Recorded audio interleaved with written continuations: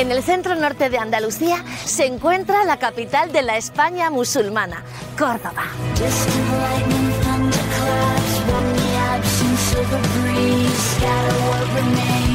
Una ciudad famosa por su pasado califal.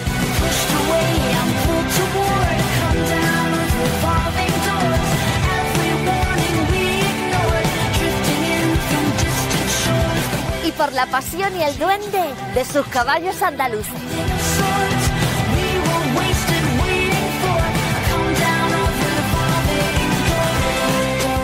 Hoy vivimos la feria de Nuestra Señora de la Salud de Córdoba.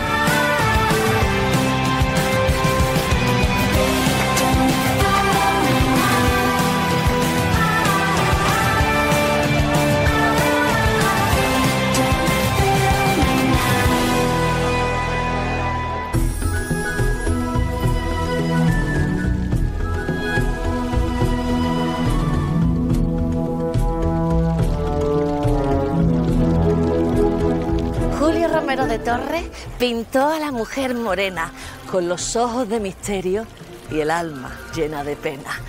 Ay, lo que a mí me hubiera gustado es ser modelo de Julio Romero de Torres, pero claro, por mucho que yo me ponga así el botijo, ni soy cordobesa ni soy morena. Eso es lo que hay. Pero ahora, eso sí, he quedado con un amigo mío que me va a contar unas cuantas cosas sobre la feria y sobre este famoso pintor.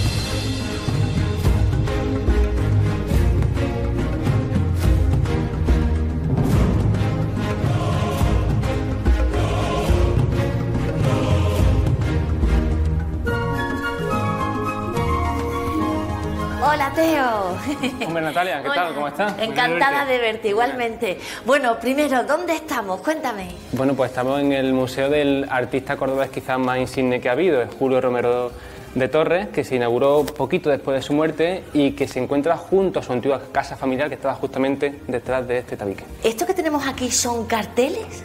Son carteles y además en, la- en su mayoría los que se encuentran en el museo son originales. Cuéntame el origen de la feria, porque es muy bonito, el origen de la feria de Córdoba.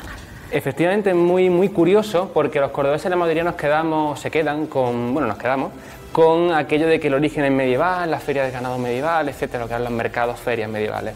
Y sí, eso tiene, estaba ahí, pero sobre todo eh, lo, lo in- lo llamativo es que en determinado momento se asimila o se funde, hay que ponerlo un poco entre comillas, con otra tradición que es la que le da nombre hoy en día. Se supone que en el siglo XVII aparece en un pozo una pequeña estatuilla de la Virgen y esa agua del pozo serían curativas y por eso se la conoce al final, se, la- se le da la vocación de, vir- de Virgen de la, Salud la Salud. o Nuestra Señora de la Salud. ¿Y tú sabes si a Julio Romero de Torres le gustaba mucho la feria? Hombre, yo creo que todo lo que fuese, vamos a decirlo, Cachondeo. ocioso le, gust- le gustaba a Julio Romero de Torre, por lo menos eso parece, ¿no? Bueno, a mí me gustaría que me siguieras enseñando un poco el museo, si te parece.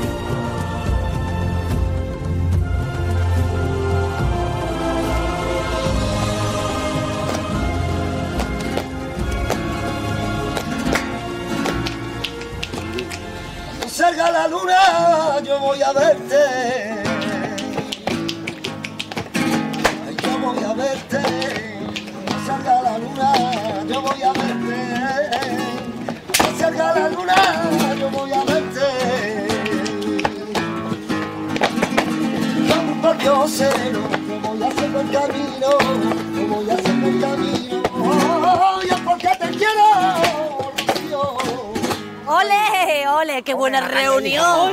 ¡Qué buena reunión, madre! ¡Uy, qué bonito, qué bonito! Bueno, Fran y Rafa Cortés, Fernando, Rosario. Ay, voy a empezar por las niñas, Muy ¿vale? bien, Vamos a pues empezar claro. por las niñas. Claro, claro, A ver, pero tú no, tú no te me vayas de mi ladito. Rosario Vacas. Corazón. ¿De dónde te viene a ti el duende, el pellizco este que tú tienes flamenco?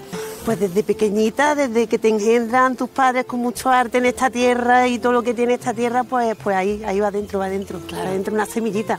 La suerte que te la ha dado Dios, ¿no? Totalmente. ¿Y eres ferianta? Bueno, depende del año, como me pille. Depende del como me cuerpo. pille un poco triste, me voy a la feria. sí, sí. ¿Qué recuerdos tienes tú cuando ibas con tu familia de pequeña por la feria? Pues muy bonito, porque yo tuve la suerte de mi abuelo tenía caballo y entonces pues desde pequeñita venía, me recogía con el caballo cuando se hacía la feria en lo que era la Victoria, la antigua feria, que era como más cerradita, más, más entrañable. Y mis recuerdos pues son maravillosos, imagínate.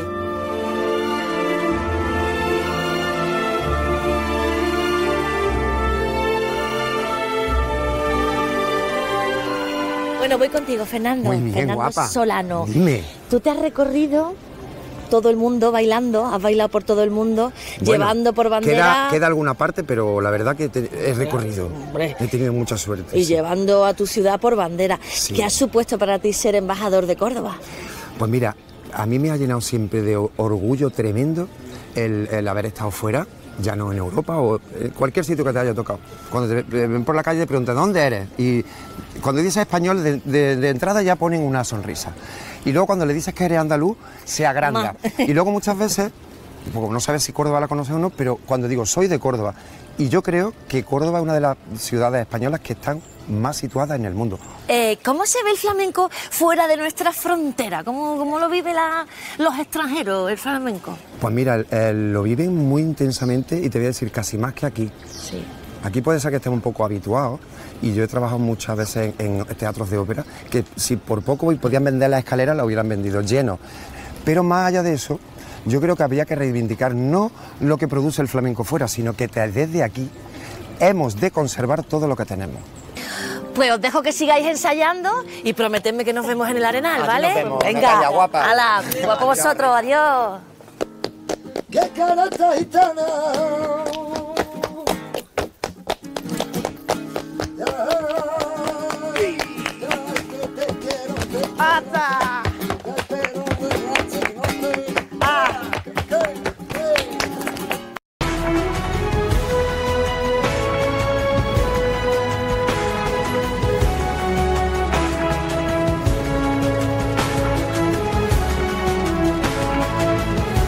Ya que me he venido a Córdoba para vivir su Feria de la Salud, me haría muchísima ilusión aprender a vestir de corto. Para eso he quedado con mi amiga Maribel. ¡Ay, qué bonito, qué bien montan! Me encantaría poder montar así. Hola, hola, perdón. eh, es que estoy buscando a Maribel. ¿Sabéis dónde puedo encontrarla, por favor? Allí. Allí. Vale. Muchas gracias. Gracias.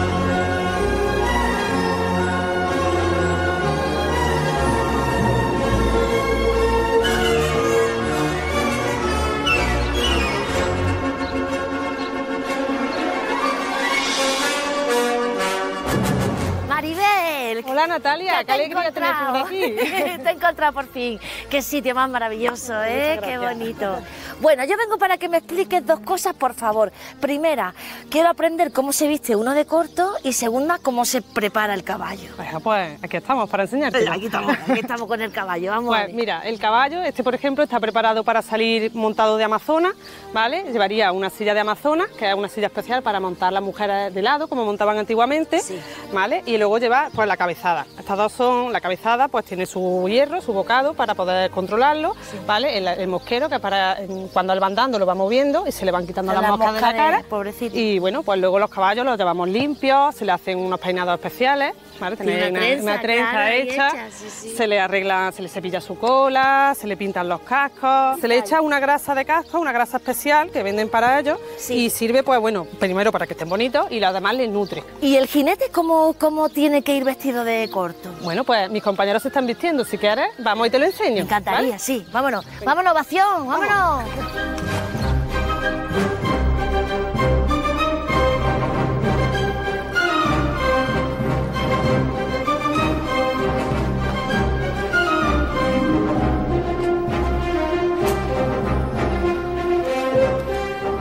Pues aquí tenemos a Mercedes José vistiéndose. Muy buena, encantada, encantada. Cuéntame qué es lo que llevan, Maribel. Mira, él lleva el traje tradicional de corto de hombre, ¿vale? Y ella va vestida de amazona, que sería el traje de corto para mujer. Va guapísima. Bueno, pues el traje se compone de los votos, que llevan los dos su voto campero. Y la falda, ¿no? A ver, ¿te puede dar la vuelta, Mercedes? Ella lleva la falda, una falda especial, ¿vale? Tiene como una cola para poder soltársela y cuando monte y adopte la posición que lleva en la silla de corneta, Claro. pues no, la falda no se rompa ni, ni le resulte incómoda. Y él lleva pues el traje de gala de, de corto, que lleva los caireles, que son estos adornitos que van aquí abajo. Los caineles. Caireles. Caireles, llama caireles. ¿Vale? La calzona, lleva su pañuelo, sus tirantes, su camisa, la camisa debe ser blanca de un color claro y todos los botones abrochados igual que ella. Y os falta la chaquetilla. Claro, ya le falta el punto final. El punto final y el sombrero cordobés. No, pues venga, vámonos, Venga. póntelo, Mercedes. ¿Cuánto puede costar más o menos, Maribel, vestirse de esta forma? Bueno, es muy relativo, depende de la calidad, de sea un traje hecho de serie o un, un traje hecho a mano, a medida, te puede llegar hasta los 1.000 euros. Maribel, ¿y, y tú cómo te metes en el mundo del caballo? ¿Te, te viene de familia? Bueno, pues mira, mi abuelo montaba caballo, pero cuando yo nací ya no tenía caballo, así que se ve que eso irá en la sangre o algo, porque, lo porque yo vida. desde chica siempre que veía caballo era papá caballo, papá caballo, hasta que al final me llevó a recibir clases de equitación, tenía yo siete años y empecé a, a montar, primero iba un día a la semana, montaba caballos mansitos, cada vez iba aprendiendo más. Luego ya por fin conseguí tener mi propio caballo y bueno, pues de ahí hasta ahora pues no he parado. Y tú te dedicas a la doma de Amazonas. ¿Cómo se te ocurre dedicarte a eso? ¿Cómo te surge? Bueno, pues cuando éramos chicas teníamos un grupo de amigas y en el sitio donde montábamos apareció allí una silla de Amazonas, que es una silla especial para montar las señoras de lado, que se, usaba antiguamente. Y yo la vi, me llamó la atención, digo, esto yo quiero probar cómo es. La probé, me gustó, luego ya empecé a investigar un poquito de qué era ese tipo de monta y me resultó súper bonita, súper elegante.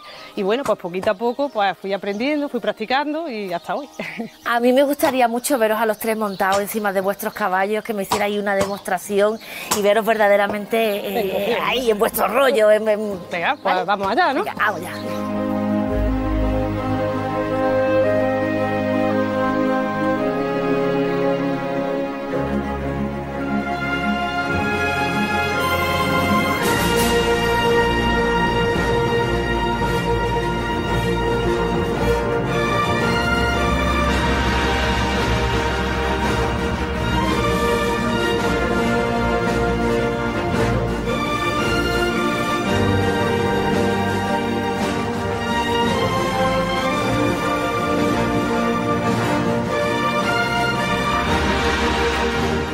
Cuánta belleza en estos caballos cordobeses.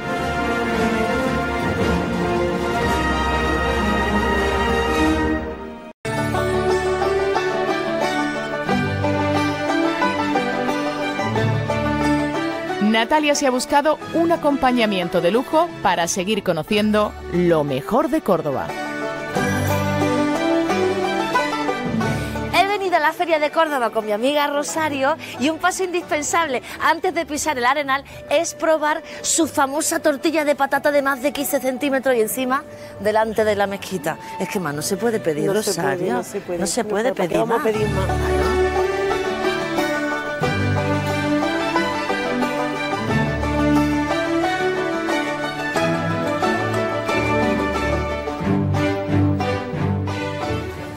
Espérate, Jesús, por favor. Hola, Espérate. buenas tardes. Pues, ¿Qué ah, alegría volver a verte. Igualmente, hija, ¿qué? Que te hemos pillado ahí a puntito de darle la vuelta, Hombre, ¿no? claro, hija, nosotros como siempre con nuestra tortilla santo. Ay, qué miedo, no se irá a rompernos, Jesús. No, estamos acostumbrados ya. Tú tienes ya mucho vicio, ¿no? Ah, hombre, esto. llevo ya unos añillos, hombre, gracias a Dios. Este negocio familiar, ¿desde cuándo lleva? Esto lleva abierto desde el 66.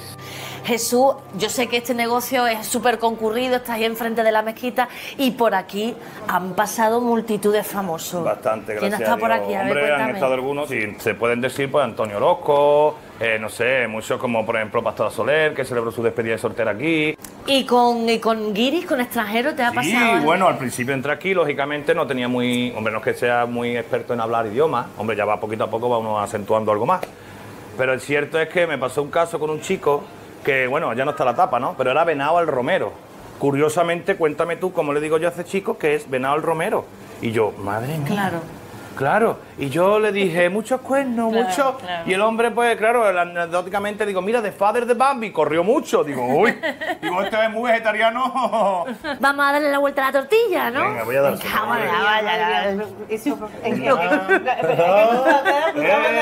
¿viste? Bueno, normalmente no se me cae, pero bueno. Ahí está.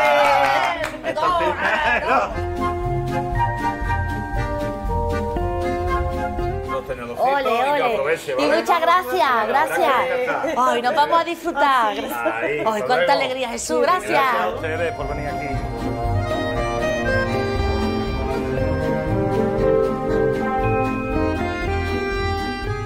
Vamos a probar la tortilla que tiene que estar muy buena, tiene una pinta maravillosa.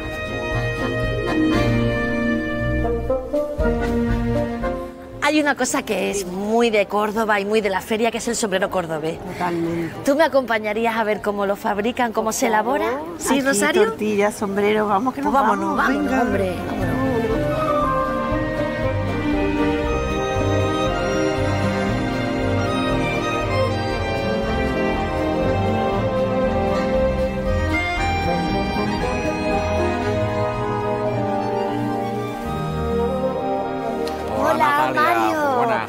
Qué bonita tienda, ¿eh? Qué bonita. ¿Cuántas soleras hay aquí? Pues sí, Solera, gracias a los años que llevamos ya. Son 116 años. Sí, porque uno entra aquí y esto destila historia, ¿no? Sí, historia, ten en cuenta que se ha pasado una guerra civil, se pasó la Segunda Guerra Mundial, incluso la peste quina, que se cargó el mundo del caballo y no pudo con nosotros. Nada seguimos, tumbado, nada. seguimos con nuestras puertas abiertas aquí, con, con nuestro sombrero y nuestra artesanía. ¿Tú qué generación eres Yo entonces? soy la cuarta, yo soy sobrino bisnieto del fundador, don José Rusi. A mí me gustaría verte con la mano en la masa, ver cómo trabaja un artesano y ver cómo, cómo se hace un sombrero y todo el proceso. ¿Podría ser? Sí, se puede. Sí, nos hombre, vamos a tu taller. Bueno, vamos al taller.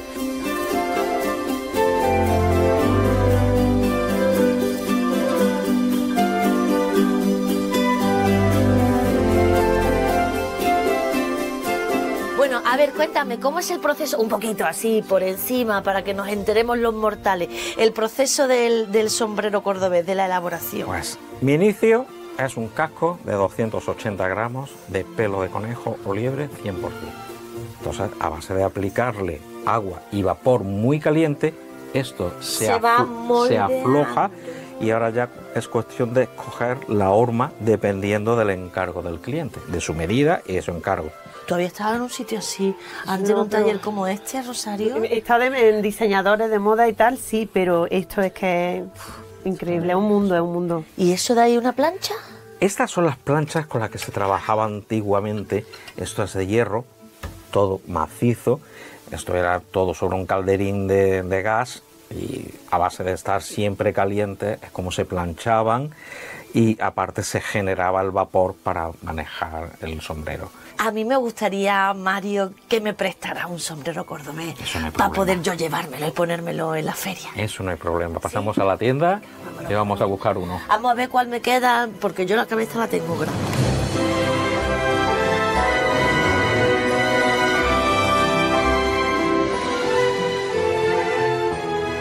Vamos a probar Vamos a ver. este, ¿qué tal te iría? Este te tiene que venir bien y con este no nos equivocamos. Ay. Puede ir con cualquier prenda. Qué guapa Natalia, creo que ya estás lista para irte a la feria.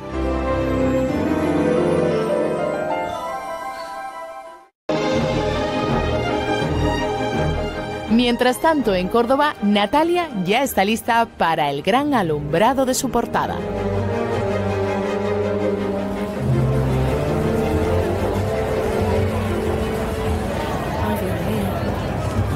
Dios mío, que este es el botón del alumbrado de la feria de Córdoba.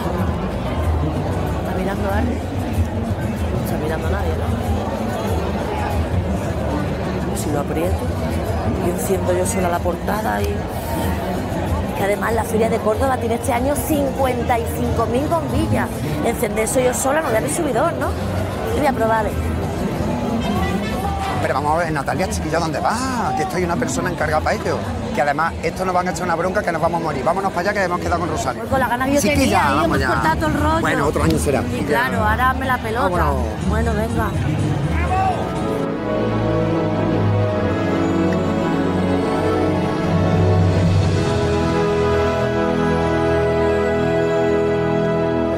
Sí, señor, sí, señor. Es preciosa.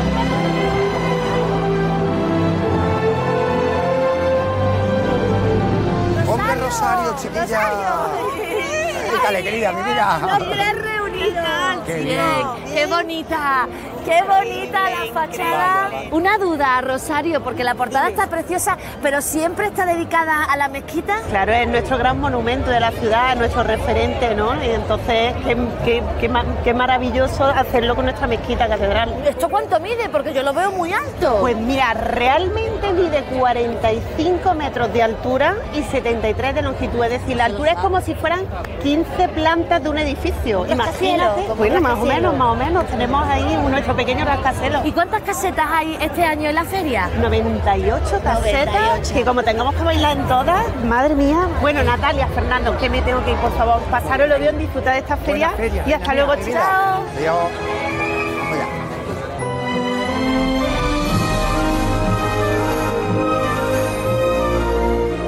Fernanda, a mí me gustaría ahora probar algún plato típico cordobés, algunos platillos de aquí, que es lo Vale. que pega. Pues mira, se me ocurre que nos vamos a ir a la caseta de la judería, que nos van a tratar de lujo allí. ¿Te Ay, parece, ¿que son cariño? amigos tuyos? Muy amigo, muy buena gente. Vámonos a la Venga, judería. ¡La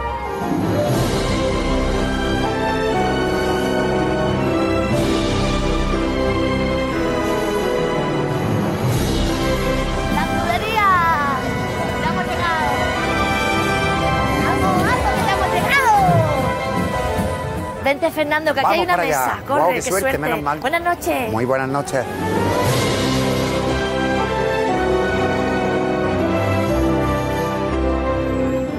Muy buenas, chicos. Hola, hola. Os voy a traer algo típico de Córdoba, un flamenquín, un salmorejo que os va a quitar el sentido. Eso, eso, eso es lo que queremos. Muy bien, muy bien. Gracias, guapa.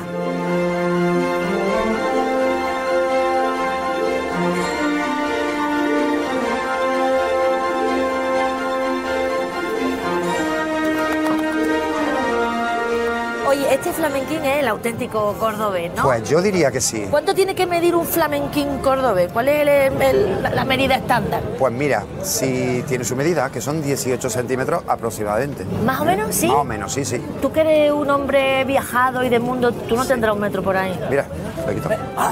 Dios mío, Dios mío, esto Pero es, vamos a ver qué eso es un hombre moderno, de Pues contemporáneo del siglo salir con XXI. metro. Tú imagínate, si sale sin metros, ¿qué es lo que te puede pasar?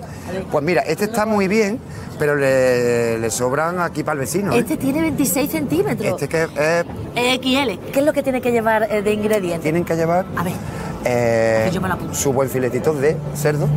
¿vale? sí. Su jamón. Si lo tienen macerado en vino, pues tampoco está de más porque le da ese toque y ese aroma. ¿eh? Qué bien, buena idea. Y luego, pues nada, su pan rallado su, y, y frito, por supuesto, Buen aceite. en aceite de oliva. Eso, y limpito, De aceite de oliva virgen. y el salmorejo, que tiene también... sí, está, de- Está buenísima. ¿Qué es lo que no le debe faltar al salmorejo cordobés? Que es fundamental.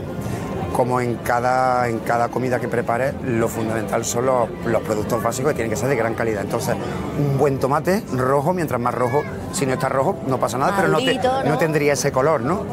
Eh, una- un diente de ajo, por supuesto, el aceite de oliva, un poquito de sal y fundamental el pan de telera. Ah, pan de telera porque es el que tiene, sí, aquí en Córdoba le llamamos de telera, que es el pan eh, con la corteza dura y que tiene la miga bastante miga y así una miga bastante miga gordita, ¿no? consistente. Un pan asentado, que dicen en otro sitio, Pan, o pan cateto, exactamente, ¿no? un pan cateto, aquí se llama el, el pan de telera. Calla, Fernando, por favor, que hay que comer. Venga, vamos al lío. Toma tu cucharita, cariño. vale, venga, Toma, gracias, esta para ti. Vamos a probar Ah, pues vamos allá, ¿no? Vamos allá. Hay que mirarse.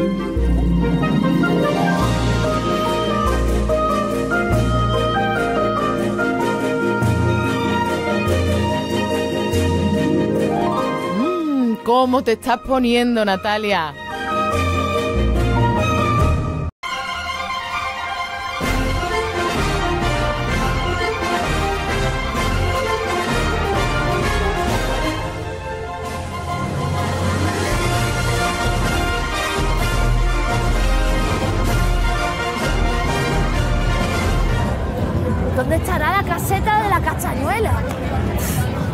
3.000 vueltas y nada, no doy con ella. Bueno, menos mal que he conseguido un mapa, porque claro, es que este año en la Feria de Córdoba hay 98 casetas, es normal que una se haga un lío. A ver si con el mapa me oriento un poquillo. Vamos a ver dónde estoy. Yo estoy aquí. Venga, vente, yo te llevo. Vente conmigo. Qué sitio estoy teniendo yo en Córdoba, ¿no? Solo se me acercan niños guapos. ¿Será por el vestido? Yo qué sé. La cuestión es que la fiesta continúa y ahora he quedado con unos amigos que hacen un flamenquito del bueno, como ellos dicen. Vamos para allá, guapos, vamos. Vamos, hija.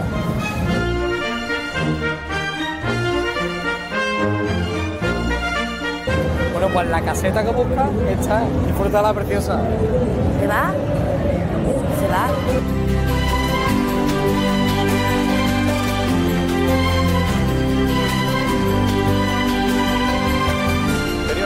Mañana, por ejemplo. Teo, Teo, qué alegría Hombre, encontrarte, qué alegría. verte, Yo estoy bien, yo muy bien. ¿Y tú qué tal? Hola, ¿qué tal? Buenas noches, buenas noches. Noche. ¿Qué es lo más bonito para ti de la Feria de Córdoba? ¿Qué es lo mejor? Pues precisamente eso, que quizá aunque hay mucha gente que prefiere quedarse en su caseta, aquí al ser la mayoría de las casetas abiertas, al menos la, mayoría, de par- la mayor parte del tiempo, pues es común que la gente vaya y venga de una a otra y ve gente muy distinta. Me voy a mezclar porque he quedado con el grupo Cosita Buena, estoy buscándolo y tú sabes dónde pueden estar. Pues precisamente están por allí. ¿Están por allí? Pues venga, pues Teo, sigue disfrutando. Muchas gracias. Muchas gracias. Adiós.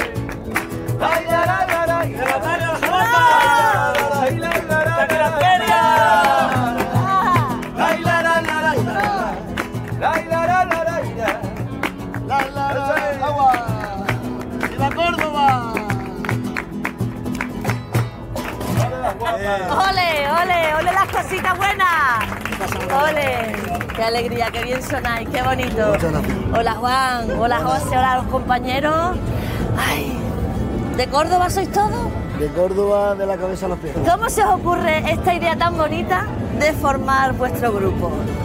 Pues ya hace ya unos 13, 14 años nos juntábamos los sábados de tardecita, íbamos a comer, sacaban eh, los amigos la guitarrita, tal, y dijimos un día, oye, ¿por qué no, en vez de hacerlo para nosotros, montamos una fiesta y la hacemos para la gente? Fue súper bien y dijimos, oye, pues vamos a seguir y una cosa lleva a la otra y al final Yo sé que ahora mismo, por ejemplo, sois la banda sonora de las fiestas de Buen Flamenquito de Madrid. ¿Eso cómo se consigue? Tenemos la suerte de pertenecer a Andalucía. O sea, es- nosotros llevamos la marca Andalucía a Madrid. A mí me gustaría escucharos, por favor, ya que estoy aquí y bailotea un poquito. que nos haga unas sevillanitas, ¿no? Por feria, favor, ¿no? por favor, por favor. Pues vamos allá. Vamos allá. Vaya, maestro.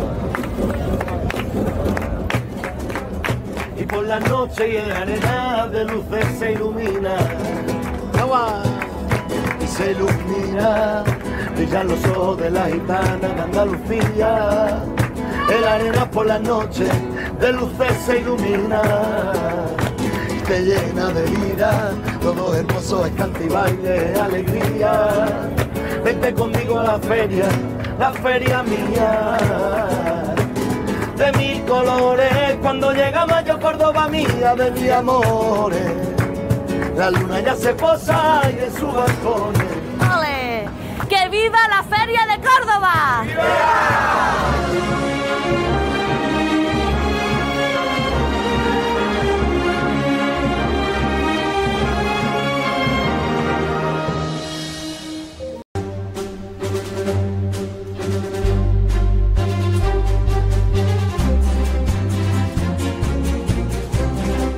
¿Qué estará haciendo Natalia en la Feria de Córdoba? ¿Bailar? ¿Comer salmorejo? ¿Natalia? Corre por la carretera. Venga, hombre, corre, que tú puedes, tú puedes, tú puedes. Ojo, que eres más lento que el teletexto. Corre, corre, corre. Venga. Ah, nada, ha llegado el último. Ay, de verdad. Bueno, muchas gracias, muchas gracias. Perdone, ¿me puede decir dónde está la caseta de Loma de Campo que no soy de aquí? ¿Por allí? ¿Dónde está la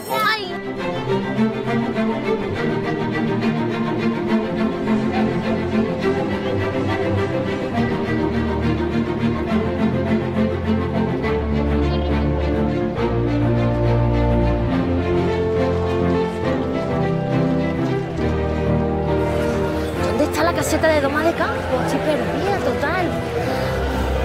Vámonos, guapa, que yo te llevo.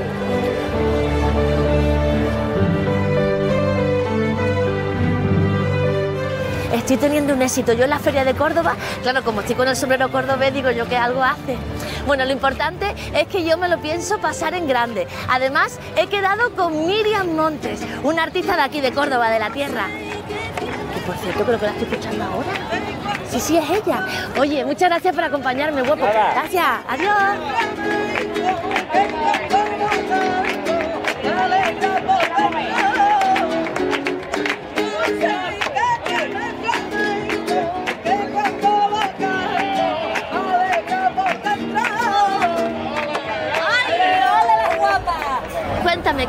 Estás viviendo la feria?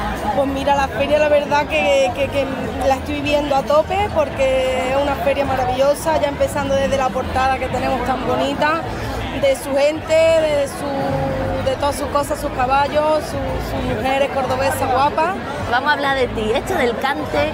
¿Tú cuándo empezaste a cantar? ¿De chiquitilla o qué? Pues mira, la verdad que no, que mi cante empezó bastante más tarde. Yo empecé con 18 17, 18 años, que me dio la vena por un director mío, de, un profesor mío de- del instituto. Y bueno, le gustaba, me escuchó canturrear algo y me dijo, pues, ¿tú tienes para flamenco? Digo, sí, digo, pues bueno, vamos a intentarlo. Es una suerte dedicarse a la pasión de una, ¿no? La verdad que sí. Encantada de seguir pudiendo dar mi arte por todos lados y, y que la gente siga disfrutando. Mucho futuro y mucho presente, guapa.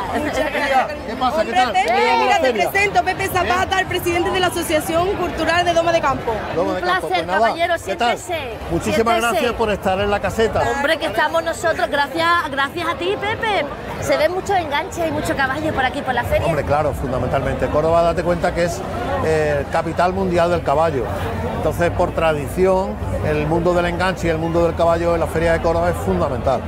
Yo quiero que me hables del desfile de enganche, que no me lo quiero Bueno, perder. pues el desfile de enganche, bueno, eh, el próximo ya prácticamente va a entrar, va, va a comenzar, eh, donde hay aproximadamente unos 30 enganches, eh, todo de tradición, eh, enganches muy, muy, muy, muy, muy antiguos, con muy detallados, con unas maderas que hoy en día ya no existen.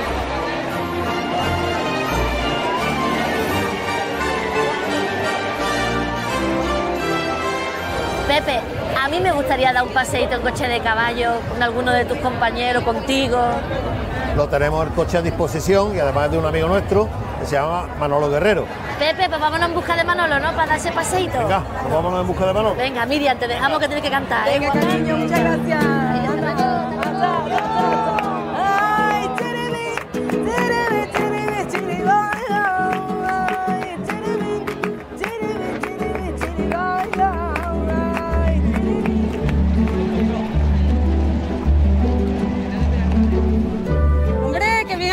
viene. Ha visto yo que tengo muy buen ojo, yo siempre he tenido muy buen ojo.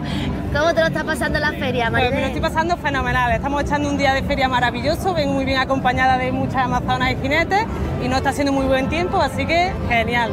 Pues yo también voy a disfrutar mucho, porque sabes que me voy a ir con Pepe a dar un paseíto en un coche de caballo. ¿Qué Pues nada, es maravilloso. Mejor compañía imposible. Y aquí en la feria es estupendo. Ay, guapa. A disfrutarla. Venga, igualmente, adiós. Venga, hasta